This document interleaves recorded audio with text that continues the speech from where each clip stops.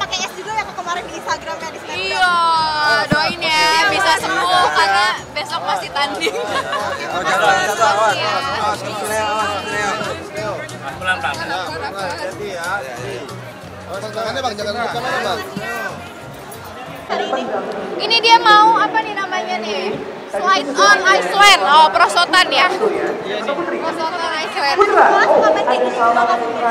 Eh, iya, kan ada outdoor eh, parknya juga kan. Jadi dia kalau di sekolah juga happy. Tapi tetap lah namanya kita pas umuran dia juga mau di mana aja ngeliat prosotan pasti pengen naik. Iya semuanya, semuanya lah. Kan ngelatih fisiknya dia juga, mentalnya dia juga. Tuh udah jadi. Pasang, pasang ini, pasang ini, pasang pasang. Pasang juga. Pasang ke sini dong. Pasang juga. Ini, ini pasang juga. Satu, dua, tiga. Ih, Mana? Kok nggak masuk? Dikit lagi, geser, Tasya, geser. Iya, iya, satu lagi. Oke. Pelan-pelan, nak. Mau main apa, Ukasya? Ini apa? Ini apa? Oh, ini harus berdua ya? Aja belum datang ya? Yaudah, Ukasya dulu. Mami di sini ya. Gini, jadi gini. Kalau mami yang naik, patah langsung. Mami kan berat. Kayak gini ada di sekolah nggak sih Ukasya? Kasih ditanya sama Satu lagi. Oh iya ada satu lagi.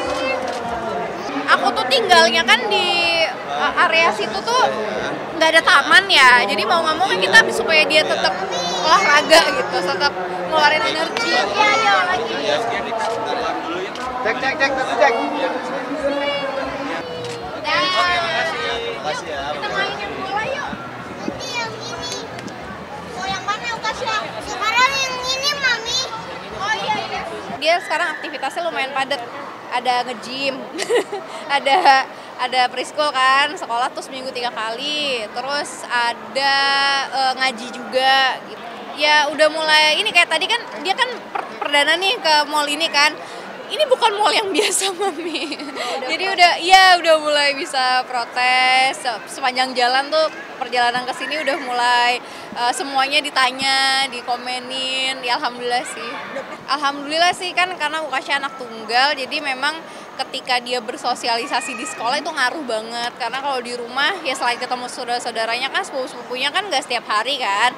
Jadi kalau di rumah kebanyakan ketemunya sama karyawan yang apa orang-orang dewasa semua. Jadi eh, awal-awal tuh sempet dia kayak eh, belum bisa beradaptasi sama anak-anak. Karena kan anak pandemi ya lahirnya pas pandemi juga gitu. Jadi eh, alhamdulillah pas pas preschool tuh ketolong banget. Jadi dia mulai bisa bersosialisasi belajar sharing sama teman-teman sekolahnya gitu